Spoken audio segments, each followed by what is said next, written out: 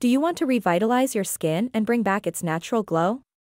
Then it's time to pay attention to two of the most important skincare ingredients, vitamin C and exfoliation. Vitamin C is a powerful antioxidant that can help protect your skin from free radicals and environmental stressors.